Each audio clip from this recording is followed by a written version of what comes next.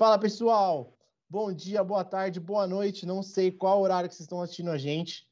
Queria agradecer por estar assistindo mais um Road Talks. É, só vamos lembrar que o Road Talks ele tem o intuito de ajudar o Hospital Fabiano de Cristo, que é um projeto maravilhoso. Todo o dinheiro arrecadado, todo o valor arrecadado, ele vai, ele vai direto para o hospital e vai, e vai ser de grande ajuda para esse projeto maravilhoso. Só lembrando, pessoal, é, quem quiser conhecer mais o projeto, é só pesquisar lá no Google Hospital Fabiano de Cristo, que ele se encontra em Caieiras, tá? O, as doações elas podem ser feitas tanto via Bitcoin, está moderninho, igual nosso host fala, está moderninho. A gente aceita também via PayPal, que estão os QR Codes aqui embaixo, então é só escanear para quem quiser. Falar, Tarek, isso é muito moderno para mim, eu queria ver de outra forma. Eu prefiro fazer ou Pix ou transferência bancária, que é o que eu estou mais familiarizado. Então, lá embaixo nos comentários vai ter os dados da conta, o Pix, tudo certinho. Só lembrando, qualquer valor é bem-vindo, seja um real, seja dois reais, cinco reais. Toda ajuda de coração é bem-vinda e vai ser de grande ajuda para esse projeto. Uh, falar, meu, esse mês está muito apertado, Tarek, não, não tô com condições. Então vamos compartilhar essa live. Acho que compartilhar vai ajudar bastante também para a gente chegar em mais e mais pessoas e a gente conseguir também arrecadar mais. Vamos apresentar a nossa host de hoje, a Cíntia Moreno. Cíntia, tudo bom? Oh, tudo bom? Boa, boa tarde, boa noite aí, bom dia para todo mundo. E vamos falar com esse fera aqui. Já queria agradecer por ter aceito o convite. Mas boa noite, tudo bom, Paulo? Como você está? Boa noite, Tarik. Boa noite, Cíntia. Eu estou bem e bastante entusiasmado pelo convite que recebi para falar aí com os jovens, com empresários, a respeito um pouco da carreira que eu percorri, as oportunidades, mas também principalmente para, ao final dessa live, poder arrecadar recursos para ajudar a esse hospital que tem um serviço extremamente relevante do ponto de vista de apoio às famílias. Obrigado, Paulo. A gente Obrigada, é muito grato por, por separar seu tempo para falar conosco, para ajudar esse, esse projeto. E, ô Paulo, a primeira pergunta que a gente, a gente gosta de fazer aqui no Road Talks, a gente fala que a gente brinca que a gente fala que volta, a gente gosta de lembrar onde tudo começou. Então, quem é o Paulo, onde ele nasceu? Fale um pouquinho mais de você, Paulo. Bom, é, boa noite, então, a todos que estão assistindo. Eu acho que tem que começar bem do início, né? Eu estou no Rio Grande do Sul, nesse momento em Porto Alegre, vocês estão em São Paulo e, e pessoas estão nos assistindo do Brasil inteiro. Eu nasci no interior de um pequeno município uh, no Rio Grande do Sul uh, e nesse período, nesses locais, é um município de pequenos agricultores que plantam tabaco, plantam milho, soja, pequenas quantidades, mas também é uma boa e importante bacia leiteira. E como filho de agricultor, de pequeno agricultor, meu pai tinha cinco hectares de terra e eu era o mais velho de três irmãos, ali tinha pouca chance de desenvolver. Então, desde cedo, eu percebi de que para fazer alguma coisa que não fosse ser mais do mesmo dentro de uma atividade, eh, ainda hoje no Brasil nós temos mais de 5 milhões de pequenos produtores eh, lutando com dificuldades para poderem eh, trazer o sustento para suas famílias. Eu entendi que só tinha dois caminhos para sair dali, né? Um era ir para um seminário, então muitos filhos de agricultores acabam depois virando padres, freiras, né? Ou ir para um colégio agrícola. Como o seminário não era minha vocação, eu acabei indo para o colégio agrícola e a partir daí, depois de 12, a partir dos 12 anos, não mais voltei para casa, a não ser fazer a visita aos meus familiares. Fui para o colégio agrícola, numa outra cidade chamada Pelotas, me formei como técnico, depois entrei na universidade, fiz engenharia agrícola e a partir daí, então, a minha carreira ela ela se universaliza. Passei um tempo na Alemanha eh, e mas a maior parte do tempo no estado de São Paulo, no interior do estado de São Paulo. Então essa é um pouco essa história, né? Eu tenho hoje 68 anos, e, e acabo de fechar um ciclo de 42 anos de formado, uh, todo ele dedicado, fundamentalmente, boa parte dedicado à indústria de máquinas agrícolas no Brasil. Ah, e, e, dessa época, uh, era, eu, te, eu fiquei até curiosa, porque com 12 anos, uma criança, né? Era muito longe da, da escola, que você ia até as casas, a casa dos seus pais, e tem algumas coisas assim que você gostaria de estar tá relembrando aí com a gente? Olha, época? o interior sempre foi mais carente de infraestrutura. Eu me lembro que toda a minha a turma, que os meninos que isso é, é, um pouco mais uh, velhos do que eu, estudavam no colégio paroquial. Na igreja tinha lá tinha um, um, um salão paroquial.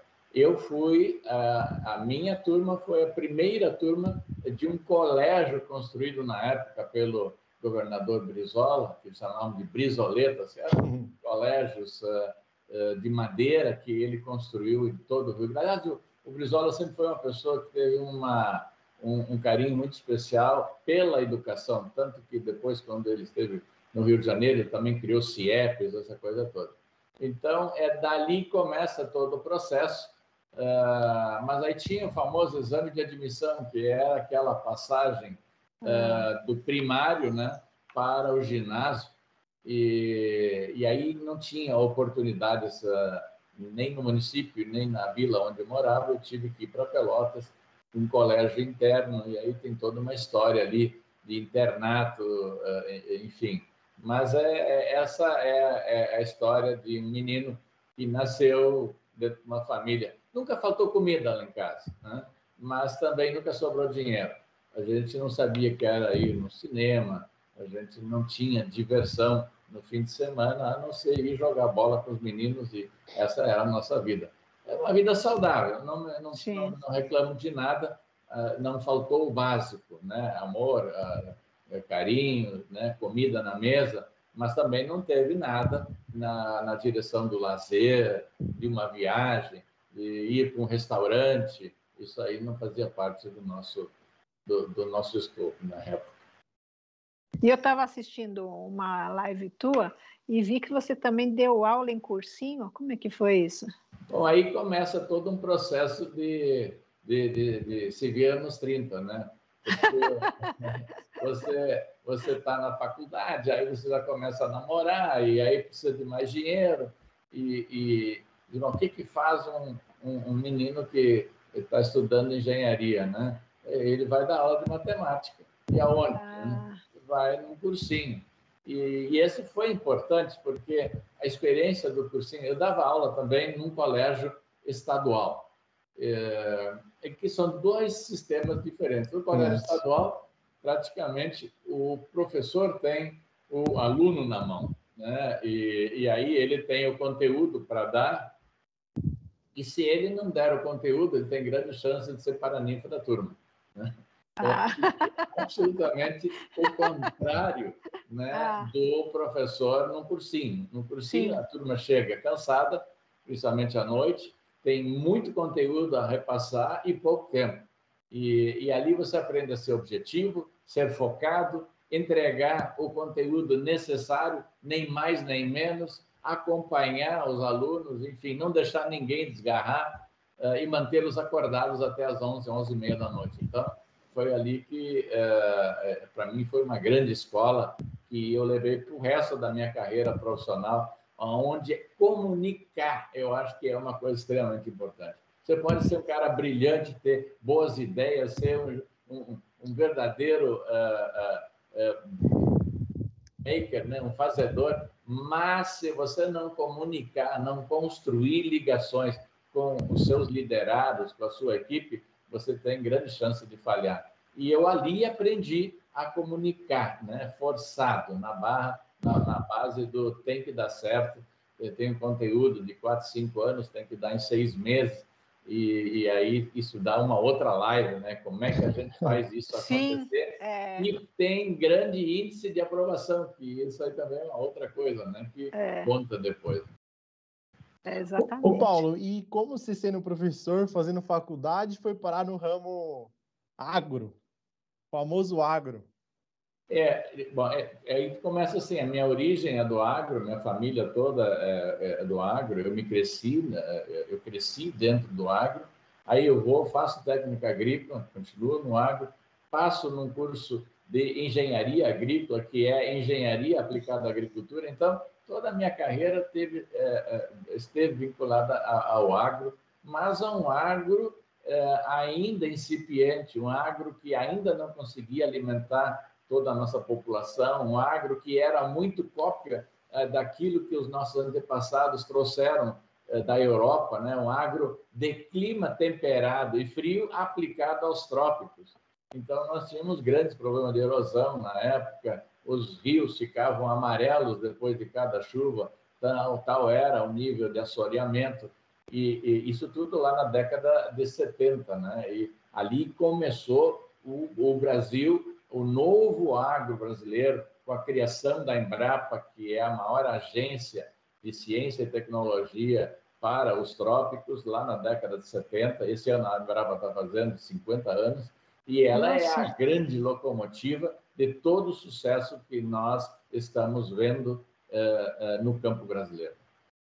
E quando acabou a tua faculdade, como é que você já ingressou aí na carreira? Você já já estava na carreira? Não, ali, ali, ali começa o primeiro drama, né? Você dentro da faculdade até o penúltimo ano, todo mundo é amigo de todo mundo. De repente, quando chega no último ano, aí cada um vai para um canto, cada um mandando currículos. E eu não, não, ninguém me chamava para nada, né? E, e aí você começa a ficar desesperado, você quer trabalhar, precisa trabalhar e aquela coisa toda. E no último ano eu organizei uma semana acadêmica e convidei é, uma pessoa muito importante é, que fez parte da, da, minha carreira, que é o professor Anivaldo Cobra. É, ele era um professor da USP que tinha sido recém-nomeado diretor do Centro Nacional de Engenharia Agrícola, localizado em Sorocaba, na Fazenda Ipanema. E aí eu liguei para ele e disse, professor, eu tô, tô, aqui, sou eu, sou o cara aquele lá que organizou a Semana Acadêmica, lembra? E ele disse, Teve ah, proatividade, né? O alemão magrinho, é ele mesmo. E, e, se vem cá e tem alguma coisinha para me fazer? Eu disse, ah, não tenho, mas eu te arrumo um estágio. E aí, quando eu falei para os colegas que eu tinha arrumado um estágio, a turma disse, ah, mas tu é ridículo, tu é formado, como é que você vai se submeter a um estágio, né? e eu não estava nem preocupado, eu estava preocupado em, em ganhar os trocados e tocar a vida para frente, que uma coisa puxa a outra. E a partir daí, uh, nunca mais parei. Né? Logo, já no segundo ano, surgiu a possibilidade de ir para a Alemanha, porque aquele centro tinha um convênio com o governo alemão, isso me abriu, vamos dizer assim, a cabeça para uma outra cultura, apesar da minha família ser de origem alemã, a Sim. gente, na verdade, é imigrante, então não tinha voltado, ninguém da minha família voltou para a Alemanha, então eu fui o primeiro a voltar, a entender aquela comunidade, como é que funciona, naquela cultura. Então foi legal. E isso foi tudo no âmbito do Ministério da Agricultura. Então, no, o meu primeiro emprego depois de formado, por cinco anos, foi no âmbito do Serviço Público Federal. E, e, eu vou fazer duas perguntas nessa, nessa viagem aí. Você, o que, que você viu de diferença na questão de agricultura Brasil, Alemanha, né? E também assim, você conseguiu ir ver as suas origens na, na Alemanha? É, a turma que veio para o Brasil, a Alemanha ela é dividida fundamentalmente em norte e sul. No, no norte da Alemanha, o sistema hereditário ele não permite, é, quando a, a, o, o, o, pai né, e a mãe é, eles falecem, ele não permite é, que a propriedade seja dividida entre os filhos. A propriedade ela é indivisível. Então, eles têm propriedades maiores. Né? A Alemanha, no norte, sempre foi mais desenvolvida. E a Alemanha do sul, de Munique, daquela região ali, ela era a Alemanha pobre, porque ela, o sistema hereditário era da divisibilidade da terra pelo número de filhos. Então, ah. eles, foram, eles foram picotando, picotando, picotando, e aí viraram cada um, sei lá, propriedade média, dois hectares, cinco hectares. E esta foi a turma que veio para o Brasil. É uma turma que não tinha esperanças, expectativas de desenvolvimento de vida, de melhoria de vida. E aí, foi, aí eles foi apresentado o Novo Mundo, as América, né? Aquela grande. E aí vamos embora. E eles vieram. Então, quando eu volto para essa Alemanha, de onde os meus antepassados saíram, eu já encontro uma outra Alemanha, porque aí vem a era da industrialização e o governo alemão ele foi sábio porque ele colocou as principais indústrias no sul. Então, para dar ocupação àquela gente ali. Então, você pega Volkswagen, a Volkswagen não está mais, você pega Audi, BMW, Mercedes, Bosch, todas aquelas empresas estão localizadas eh, no sul da, da, da, da, Alemanha e hoje o sul é mais rico do que o norte, mas os, os alemães que migraram são todos dali pessoas que foram em busca eh, de uma vida melhor, porque ali não tinha grande eh, oportunidade. Mas voltando à tua pergunta, Cíntia, Uh, a gente primeiro se deslumbra, né? Porque tudo funciona. Uh, Ainda mais na Alemanha, né? É tudo... é, tudo... funciona. Mas uma coisa, o pessoal uh, sempre me chamava atenção, porque eu trabalhava com ensaios de máquinas agrícolas, testes de tratores e colheitadeiras, essa coisa toda. E eles já tinham equipamento sofisticado para fazer medição, equipamento com extensômetros elétricos de resistência, coisa que nós daqui nem, nem, nem sonhávamos. Mas aí é, é, os, professores, os professores, a turma diz assim, Paulo, tu está voltando para o Brasil. E vai ser um choque, porque tu vai chegar lá, não vai encontrar nada do que você se acostumou a usar aqui nos últimos tempos. Agora, nós vamos te dizer uma coisa. Com um cronômetro e uma fita métrica, né, é, é, você e, e isso aqui, né, eles apontaram o dedo assim, né, que é o bom senso, você faz todas as medidas que nós fazemos aqui com equipamento eletrônico, com equipamento de última geração. Então, não é o equipamento que faz a, a qualidade do teu trabalho, mas é o bom senso em usar aquelas ferramentas que você tem à sua disposição da maneira mais eficiente. Isso aí foi uma coisa que eu também levei... Profundo, hein? Cíntia, eu levar isso para o resto da minha vida. Eu acho que não é o relógio que faz uh, você ser pontual, mas é ele funcionar, né? É você saber usá-lo, né? Sim. E, Sim. E, e, esse foi o meu aprendizado, né? De que a, a tecnologia, a industrialização pode levantar o nível uh, uh, de um povo, né? e de que você não precisa ter equipamentos de última geração, com precisão de várias casas decimais, se você não tem bom senso e não sabe para que, que você é, vai fazer, o que, que você vai, fazer com aquilo. Paulo, e, e referente a essa questão agro, o que você acha que fez a gente ser, tipo, uma, uma das pior, piores, entre aspas, mas ter uma, nos anos 70, igual você falou, ser tão subdesenvolvido referente a, ao agronegócio, e hoje, atualmente, a gente ser o maior exportador do, do mundo, referente ao agro. Qual que você acha que foi o, o estralo que teve, que fez a gente mudar essa mentalidade e agora ser um, um exemplo referente a isso? Ou você acha que os países europeus também já falaram, ah, o agronegócio para a gente não é interessante? Qual que você acha que é o... Não, não, longe disso. Agro é interessante em qualquer país no mundo, porque o agro ele é segurança alimentar. Né? Ainda não encontraram nada que substitua a comida. E, e, e, insegurança alimentar derruba governo. Então, comida uhum. é, é, é, estratégico para qualquer país. Né? Não, o que acontece, em uma palavra, a definição que a resposta que eu vou dar à tua pergunta, Tarik, é ciência. O agro brasileiro ele não é obra do acaso, não é golpe de sorte, né, ele é obra de ciência. Né? Porque o que nós fizemos foi, é, naquele então, né, como se fala, nós trouxemos pelos imigrantes a cultura europeia e repetimos aqui o que eles faziam lá. Ah, totalmente é, é errado. Depois, a gente tinha, no estado de São Paulo e e Minas, ali uma agricultura que era baseada no café com leite. Então, tinha os cafezais em São Paulo e tinha ah, uma, toda a parte de leite, gado leiteiro em Minas, né? E no Nordeste a cana e São Paulo a cana, ou seja, eram culturas é, muito mais extrativistas, com baixíssima tecnologia. No Sul se imitava a agricultura da Argentina, que era muito mais desenvolvida, muito mais eficiente. Então, esse era o Brasil, um Brasil pobre, um Brasil jacatatu.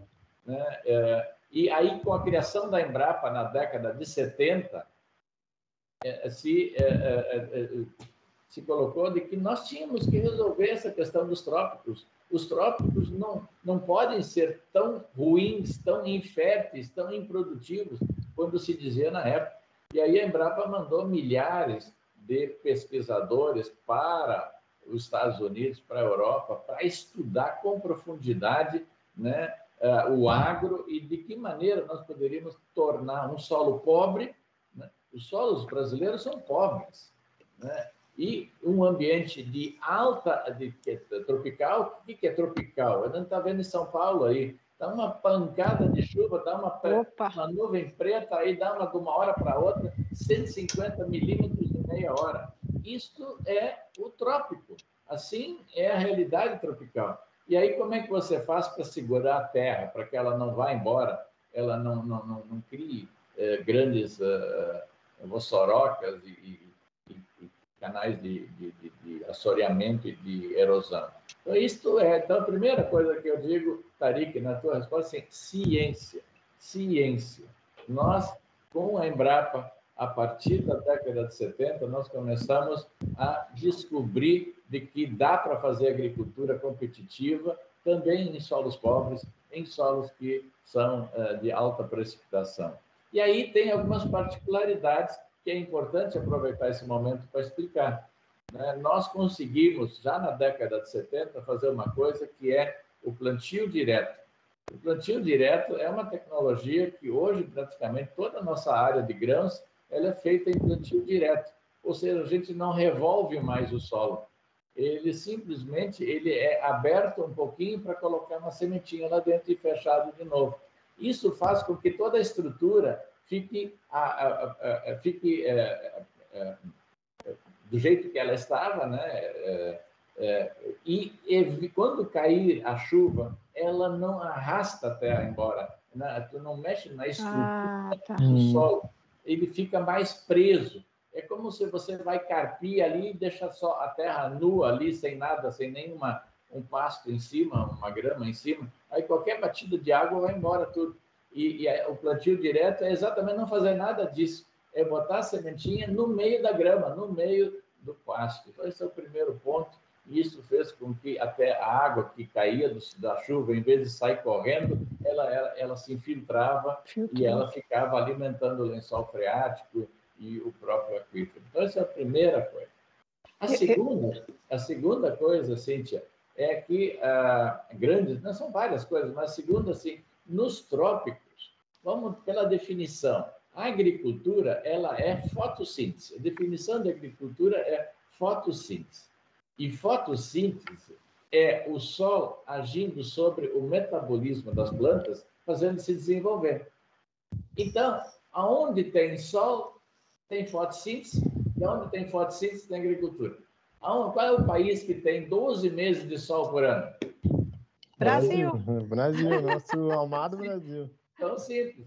Uh, Estados Unidos tem 12 meses de sol por ano? Não. Não. A Alemanha tem? Não. A Ucrânia tem? Não. A Rússia tem? Não. A China tem? Não. A França tem? Não. Esses são todos países do hemisfério norte que fazem uma safra por ano. É aqueles meses em que é o, o verão deles, o outono, um pedacinho aí da primavera, e depois, quando entra no inverno, acaba tudo. Agora está tudo debaixo da neve, não tem temperatura para um grão germinar, uma sementinha germinar. Nós não. Nós temos eh, condições de fazer que eu chamo de agricultura sem parar. Planta, colhe, planta, colhe, todo sem parar. E isso é o grande fenômeno brasileiro. Então, se nós combinarmos a ciência da Embrapa com a, a, as iniciativas eh, dos agricultores na, na, na, no plantio direto, na segunda safra, na integração da pecuária com a produção de grãos, com a floresta, né? mais as empresas que investiram em biotecnologia, em produção de máquinas de última geração. Se botar tudo isso em perspectiva, faz o que está acontecendo agora. O Brasil alimenta não só a nossa população, mas também provém comida para 800 milhões, um bilhão de pessoas ao redor do mundo. É. é. Desculpe, é uma longa explicação, mas era importante. Não, mas é, Não, mas é, é importantíssima. É importantíssima. Ô, ô Tarek, deixa eu, Tarek, deixa eu, vai. Muitas, muitas coisas a falar. Assim, como é que você vê hoje a questão da mecanização na agricultura, os prós e os contras? Você ouve muita esse debate, tem gente que é a favor, tem gente que é contra. Como é que você vê isso? Bom, é, eu sou da época, quando eu comecei a trabalhar, e esse foi um dos desafios que me moveu para a máquina agrícola, a gente dizia que no Brasil, as máquinas que são usadas, elas têm uma defasagem de 30 anos em relação ao primeiro mundo. Seja, Ainda hoje? Não, não, isso era lá na década de 70, ah, quando tá, eu me tá, formei. Tá. Ah, tá. Hoje, 50 anos depois, Cíntia, as máquinas no Brasil, e eu trabalhei na maior empresa de máquinas do mundo por 20 anos, eu posso dizer que tinha máquinas que nós lançamos primeiro no Brasil e depois nos Estados Unidos. Então, em termos de máquinas, nós usamos o, o que há de melhor, o estado da arte. Agora, é preciso entender qual a função da máquina. Né? A máquina ela tem a função de auxiliar né, os braços dos produtores. Eles são um auxílio aos braços. Por que, que os braços precisam ser auxiliados? Porque há uma tendência mundial de movimentação da população rural para o meio urbano. É, a, a, a, se nós pegarmos 100 anos atrás, nós tínhamos 70% da população mundial vivendo nos, nos, nos no, no interior dos países e 30% nas cidades. Mas como o interior ele é desprovido de energia, de escola, de hospitais, de infraestrutura, há uma migração natural, natural em todos os países do mundo do campo para a cidade. No Brasil, hoje, eu não tenho a última estatística, mas a, o penúltimo uh, número que eu tinha ali, o último número que eu tinha, é, do IBGE já apontava de que mais de 80% da população brasileira vive em núcleos urbanos. Então, imagine, como é que nós vamos prover comida para esse povo tudo se Nossa. a gente tem cada vez menos pessoas no campo? Então, a máquina, ela não desloca, ela não é um agente de êxodo rural. Ao contrário, ela fixa e ela multiplica a força dos braços remanescentes, a fim de produzir comida para aqueles que foram para a cidade. Então, ela é, um, é ela é um, uma, absolutamente necessária para que nós eh, tenhamos condições de produzir comida para todo esse contingente urbano que se transformou a população brasileira. Então, essa é, é, essa é a definição. E depois tinha uma outra discussão na questão da cana. Né? A cana ela é uma atividade que vem com os portugueses, nas capitanias mas ela sempre foi muito escravagista, sempre foi uma atividade de baixíssima tecnologia e muito em cima da mão de obra. E para se fazer o corte de um pé de cana, como se trata de um ambiente extremamente é, é, agressivo ao ser humano, é, se fazia queimada da cana. E a queimada da cana, ela, ela, além de ser poluente, ela introduz fogo dentro de uma área e mata todos os animais que tem ali. E, a, e, e, o cortador de cana, que vai ter que cortar aquela cana, ele fica ali naquela circunstância quase que num semi-escravagismo. Então, a máquina que veio para fazer o corte mecânico da cana, ela resolve um problema de escravagismo Sim. quase, e não de deslocamento de mão de obra. Aliás, essa é uma coisa interessante. Quando nós, eh, eh, eu, na empresa que eu trabalhava, nós fazíamos máquinas para colheita de cana, eh, tinha aquela discussão, pois é, o que nós vamos fazer com os cortadores de cana? Nós vamos fazer um programa, e aí nós fizemos, então, um grande programa de reconversão de as pessoas que cortavam cana. Então, se você tem habilidade para ser um eletricista, um mecânico, né, um pedreiro, e para minha surpresa, praticamente ninguém, ninguém é, é, precisou ser uh, reclassificado, porque uh, o Brasil também cresceu, nós hoje já estamos num regime de pleno emprego, mesmo que existam milhões de brasileiros que estão desempregados, eles estão empregados em programas sociais e também não têm interesse em sair daí para ir para um emprego eh, eh, em empresa, né? Então, você precisa mecanizar. Não tem, não tem caminho, tem que deixar a ideologia de lado e partir para a realidade. Todo mundo fez isso. E, e, e, não tem mão de obra. Se hoje falar com qualquer pessoa, em qualquer segmento, a reclamação é, é que não tem mão de obra para contratar. É. Sim, sim. Mas é na cidade, se não tem pedreiro, sim. não tem carpinteiro, não tem pintor, não tem eletricista, não tem nada. É. Oh, e, o Paulo, você falou bastante dessa forma de retirar cana, que fazia queimada, e hoje a gente está uh, ah, vivendo um, uma pauta que é que é para o agro é muito polêmica, né? Que é sustentabilidade. Porque, um, a, a visão que passam para a gente, para gente cidadão, que um é inimigo do outro, né? Eu acho que não necessariamente é assim, mas o que eu queria, a pergunta, a dúvida que eu queria tirar contigo é, o agro ele consegue ser sustentável e lucrativo e além de ser lucrativo, é, criar alguma forma dele conseguir plantar mais ainda?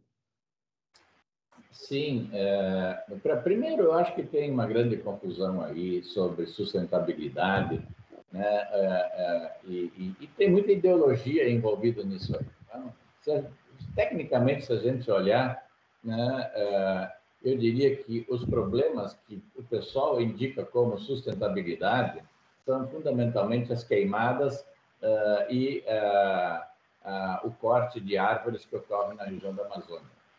E, e, isso sim é um problema sério, mas é um problema que não é de, de governo, é um problema de Estado. Isso ocorre desde, desde, desde, desde o descobrimento do Brasil, porque nós temos 10% do território brasileiro que não tem dono. 10% do território brasileiro não tem titulação. Então, qualquer uh, problema que ocorra ali, uh, não tem quem, a quem imputar uma penalidade porque ele simplesmente é uma área devoluta. É aí estão os grandes problemas. E nesses 10% território nacional, ali está o garimpo ilegal, ali está o contrabando, ali está o tráfico de drogas, ali está a exploração é, é, e exportação ilegal de madeiras, ali está tudo que tem de errado. Então, esse é o primeiro ponto, né? O que tem grande espaço na mídia, mas ele, há uma grande confusão. Isso não quer dizer, Tari, que todos os agricultores são santos e que ninguém uhum. cometa nenhum deslize. Mas os deslizes que são eh, que ocorrem eh, dentro das propriedades por uso inadequado de um defensivo ou eh, um manejo inadequado de um recurso natural, eles são imputáveis porque aquela terra tem dono e legislação é o que não falta para nós no Brasil. Então, isso entra dentro da categoria daqueles profissionais que não agem corretamente, como tem na medicina, como tem no direito, como tem em, em todas as atividades uh, humanas. Então, eu acho que a gente confunde as coisas. Então, esse é o primeiro ponto. Né? E não, a, a, quem interessa confundir também não, não, não, não é o caso para discutir aqui. O segundo ponto, o agro brasileiro, ele é altamente sustentável. Altamente sustentável. Né? E eu poderia falar, por exemplo, o plantio direto é uma maneira de você segurar a água dentro da propriedade, não deixar embora, infiltrar a água. A integração da lavoura, da, da, da pecuária com a floresta permite que você é, mitigue os gases de efeito estufa e ao botar o gado ali, é, os próprios gases é, de metano que o animal elimina pela, pelo arroto, né? porque um, um, um, um bovino, né, uma vaca ou um boi, tem cinco estômagos. Então, nesse processo de jogar comida de um estômago para outro, ocorre um ataque enzimático e isso produz, produz metano, que é eliminado por meio do arroto. Esse arroto ele é absorvido pelas plantas, pelas árvores. Então, as atividades hoje normais no campo, elas são praticamente neutras em termos uh, de emissões. Nós temos hoje a carne, que a gente chama carne de carbono neutro, eh, nossa, a, a soja mitiga né? A soja ela absorve mais uh, carbono do que ela emite. Né? Todo o processo na, na soja não se põe um quilo de nitrogênio ali na soja. Ela tem uma bactéria que a gente coloca na semente que faz a captura do nitrogênio do ar e joga para dentro da terra. Então tem tanta coisa bonita, tanta coisa correta acontecendo no, no campo que acaba ficando uh, dentro dessa confusão uh, uh, e, e, da má informação. o agro brasileiro, agora a gente tem que prestar atenção numa coisa. Quando as pessoas falam, o Brasil é o maior usuário de, aí usa-se o termo agrotóxico, que eu acho é, é, é, uma, é um palavrão, porque a gente não fala em biotóxico, né? tarja preta é biotóxico, né? Tanto que as farmácias, elas se chamam drogarias, né? De drogas. Então, ali tem, ali a gente convive bem com antibióticos, com essa coisa toda. E, e, e, e faz a pecha né, do agro, do agrotóxico. Mas vamos usar o termo agrotóxico. O Brasil é o país que usa mais agrotóxico no mundo. Ora, se eu fizer uma leitura por quantidade, por quilos, é verdade. Né? o Brasil usa mais agrotóxico por hectare plantado. Pode ser, porque nós plantamos até três vezes no mesmo hectare. Agora, se eu usar a medida correta, né, é, que é, é, os defensivos aplicados por tonelada produzida, bom, aí nós temos menos defensivos que a Bélgica, menos que a Holanda, menos que o Japão, menos do que um monte de gente boa que gosta de apontar o dedo para o nariz dos outros. Então, segundo o Ariano Suassuna, existem três tipos de mentira. Existe a mentira simples, existe a deslavada e existe a estatística. Então, o que eu estou dizendo aí é a mentira da estatística. Você usa ela de acordo com o seu interesse, mas se você fizer um, uma análise séria e isenta, em gramas de defensivos por tonelada de, produtos, de produto que nós produzimos, nós estamos numa quantidade muito abaixo de, da maioria dos países ditos civilizados do primeiro mundo. É, isso para mim foi uma novidade. Uma, Você vê, a estatística é uma coisa, né? A estatística é a arte de você é, é, apresentar o assunto de acordo com o seu interesse. Interesse. É, né? e, e, e, não e não está errado. Quando se fala o Brasil é o país que usa mais defensivos do mundo, não é uma afirmação errada. Imagina o tamanho do nosso país. Sim. Né? Sim. O Brasil é o país que usa mais defensivos por, por hectare plantado. Também não é errado. Porque enquanto os europeus e os americanos só trabalham a terra seis meses, nós trabalhamos 12 meses. Nós botamos três culturas ali.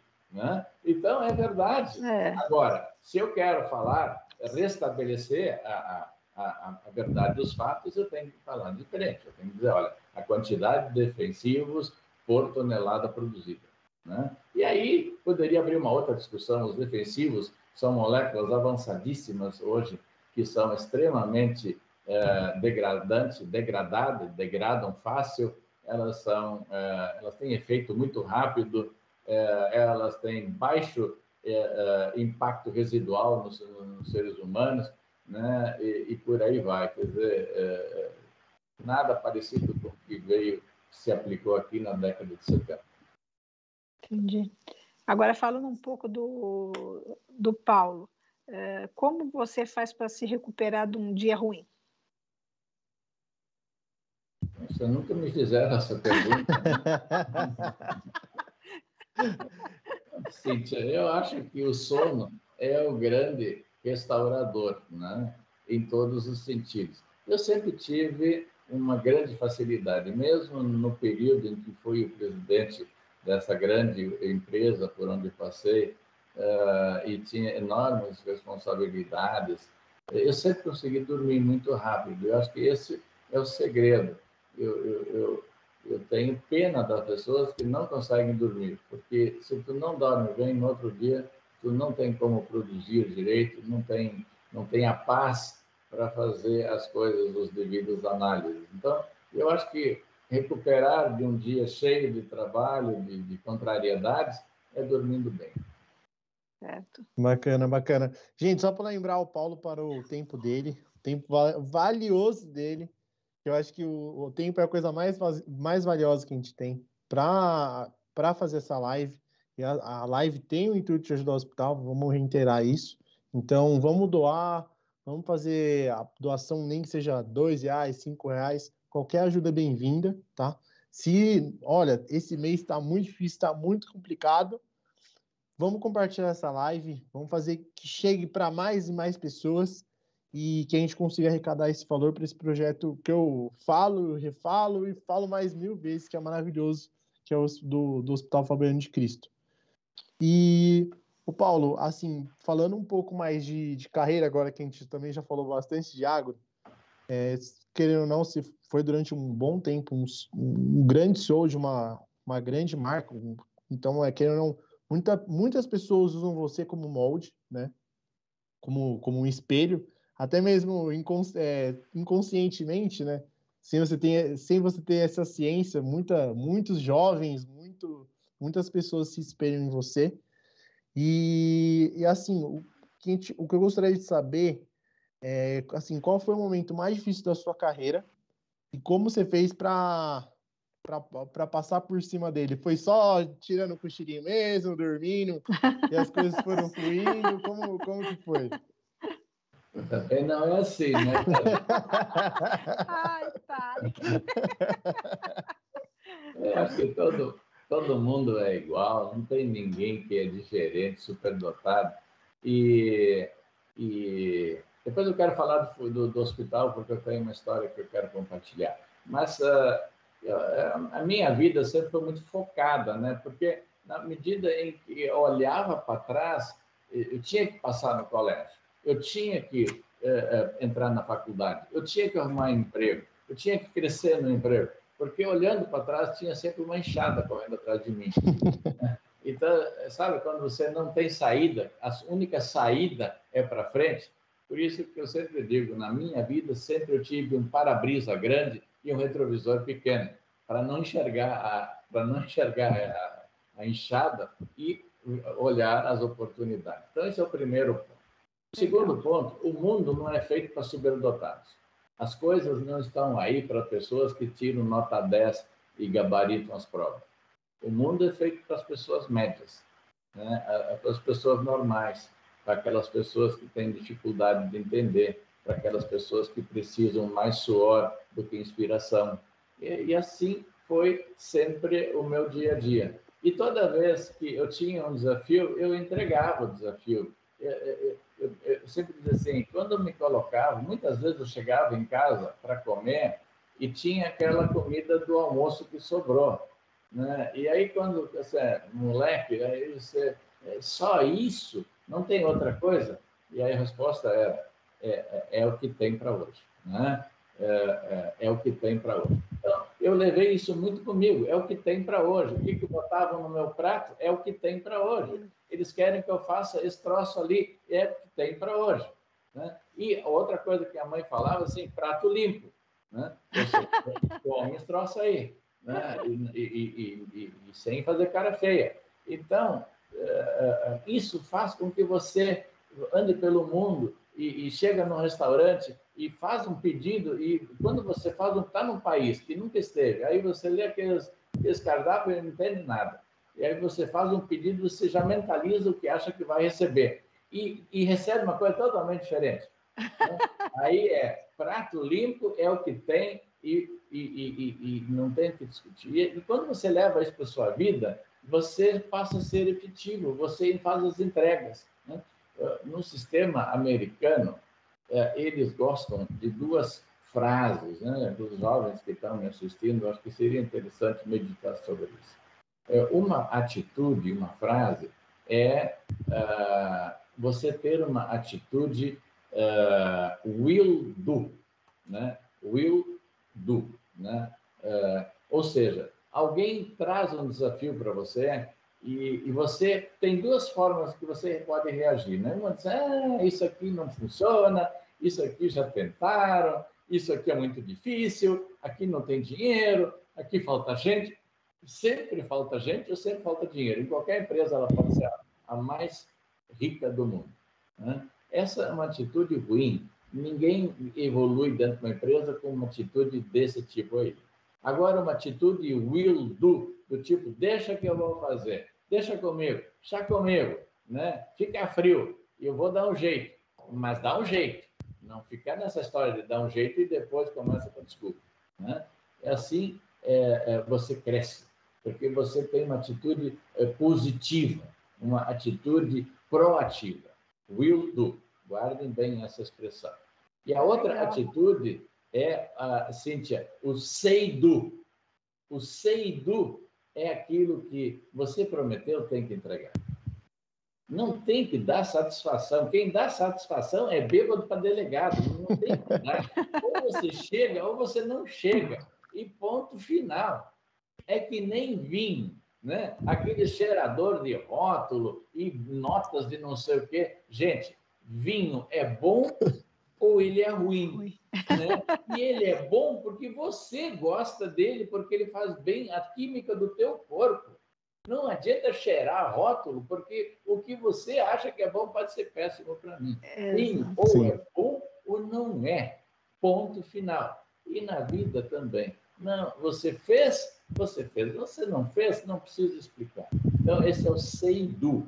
No Brasil, a gente sempre normalmente gosta de prometer mais e entregar menos. Né? É uma, é uma, é uma e depois vem uma série de desculpas. Se você combinar o will do com say do e olhar no seu prato, é o que tem para hoje, e prato limpo, gente, vocês vão embora e vão ser bem-sucedidos em qualquer empresa no mundo. Essa é uma parte.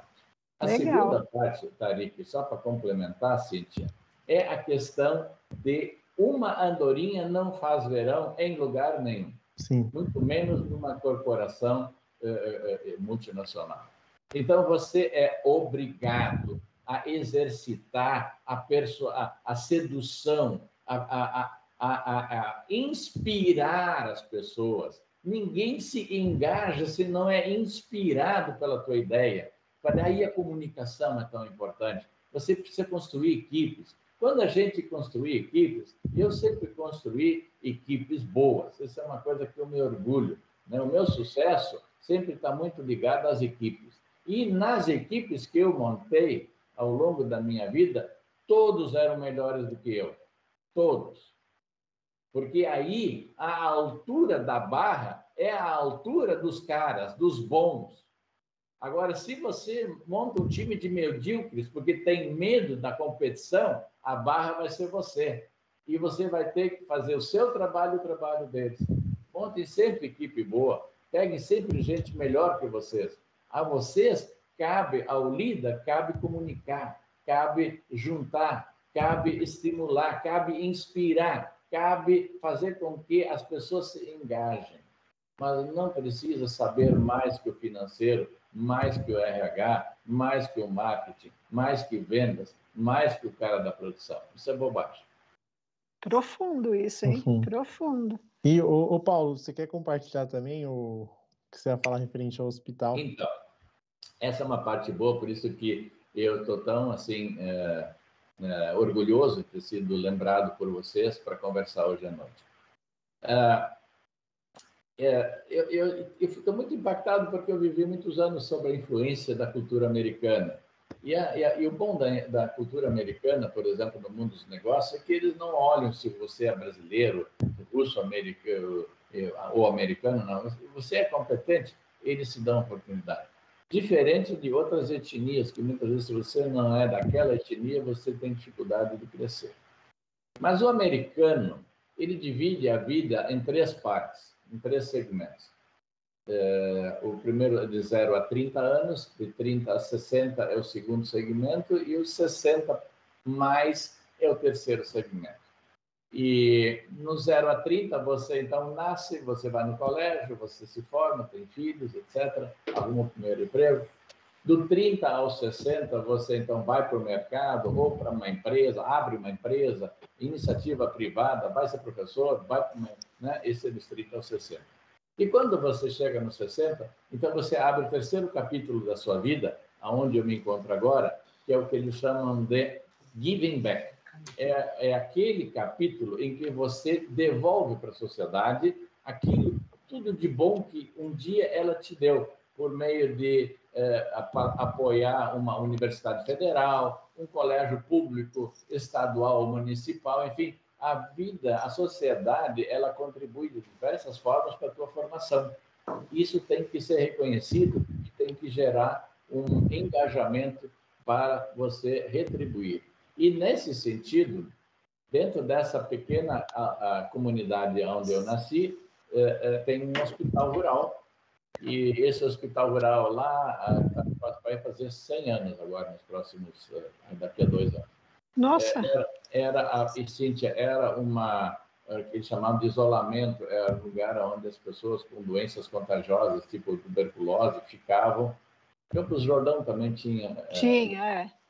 Depois foi evoluindo e tal, e, e aí teve um período muito ruim, e, e aí eu, há já 12 anos, estou uh, num processo de voluntariado, e nós reerguemos o hospital. Ele Legal. hoje tem telemedicina, a gente atende os agricultores da região, eu tenho uma geriatria bem montada, uh, enfim, tem um bloco cirúrgico, todo ele digital, todos os equipamentos digitais, fibra ótica, energia solar. Então, moral da história: é, no Brasil não falta dinheiro. No Brasil faltam pessoas que se engajem, que ponham o coração, é, que tenham bons projetos, que consigam é, inspirar outras pessoas, outras empresas, como vocês estão fazendo hoje à noite, para que a gente consiga reduzir as assimetrias da nossa sociedade. Estou muito contente. Nós estamos Parabéns, viu? Parabéns. ali. nós vamos, sábado que vem, inaugurar uma ala nova de fisioterapia completa, enfim. Então, o que vocês estão fazendo, e eu espero que hoje à noite a gente consiga inspirar também os que estão nos assistindo e todos aqueles que vão acessar o conteúdo uh, mais adiante, né, no YouTube, sei lá qual plataforma onde nós vamos estar, sejam uh, uh, iluminados com essa ideia do giving back. Nós precisamos fazer isso porque o nosso país ele é muito desigual. E também não dá para ficar chorando o tempo todo, culpando os governos municipal, estadual, federal pelas mazelas, quando o povo é, na verdade, o grande responsável por fazer acontecer as coisas. Concordo, concordo. O Paulo, agora uh, vamos falar um pouco quais os livros aí que você indica. Vamos anotar esses aí. Então, eu, eu, eu, eu agora, última, recentemente eu tô, eu tô mal de livros aqui, né? Eu sempre tive uma carreira muito voltada aos livros técnicos mas eu voltei de, de, de Israel há duas semanas ah, e, Cíntia, eu voltei muito impactado. Né? E, e hoje à noite eu vou não indicar um livro, mas eu vou indicar um documentário na Netflix. Né? Porque a gente chegando em Israel, afora todo o aspecto histórico, cultural, religioso né, de Jerusalém, é uma tirinha de terra do nada, do tamanho do Sergipe, com uma população igual à população do Rio Grande do Sul e um PIB per capita de sete vezes o PIB brasileiro. Como é que é possível isso num lugar onde só tem pedra, eh, falta de chuvas, 80% do território ele é deserto? Né? E eles dão uma aula né, de que a tecnologia é o caminho. Por isso que eu falo tanto da Embrapa, da ciência, da tecnologia é, a tecnologia liberta, a tecnologia é, ela, ela mostra caminhos aonde Sim. antes tinha escravidão intelectual. E aí tem um, um, documentário na Netflix que é, deixa até como é que está escrito, é, é, é, é, Nunca Deixe de Sonhar, a vida e o legado de Shimon Peres. Se vocês entrarem por Shimon Peres, vocês vão encontrar é Netflix. Ah, eu vou ver. É um documentário que conta a história desse senhor que foi presidente de Israel, três vezes primeiro-ministro, uh, ele foi uh, Nobel da Paz, e quando ele assim estava já com mais de 90 anos, já com toda a obra realizada e, e hoje quem vai a Tel Aviv vai encontrar uma cidade moderníssima, eh, maravilhosa, linda, aquele Mediterrâneo bonito. Uh, perguntaram para ele do que ele se arrepende. E olha a resposta que ele deu. Eu me arrependo de não ter sonhado maior. Então, se hoje de noite eu posso indicar mais que um livro, né? Eu indico a todos assistirem esse documentário sobre a vida e a obra de Shimon Peres, que ele, num determinado momento, diz que ele, apesar de tudo que ele fez, ele se arrepende de não ter sonhado maior. Que bacana. Nós bacana. vamos ver. Obrigada. Bacana. Pela, pela dica aí. Obrigada. E o Paulo, se você encontrasse o Paulo de, de 12 anos que estava entrando no colégio, estava entrando, estava trocando de, de, de, cidade, o que, que você falaria para ele? Vai em frente, guri. Vai em frente.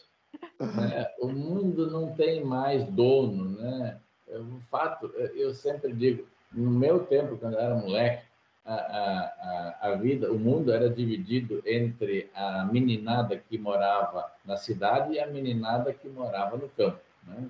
E eu era da segunda turma. Então, a gente sentava seis meses atrasado. Então, quando eu comecei a botar calça boca de sino, ninguém usava mais boca de sino na cidade. Né? Então, uh, isso não existe mais. Não. Hoje, a, a, continua a divisão, mas a divisão é outra. A divisão é os que estão plugados e os que estão desplugados.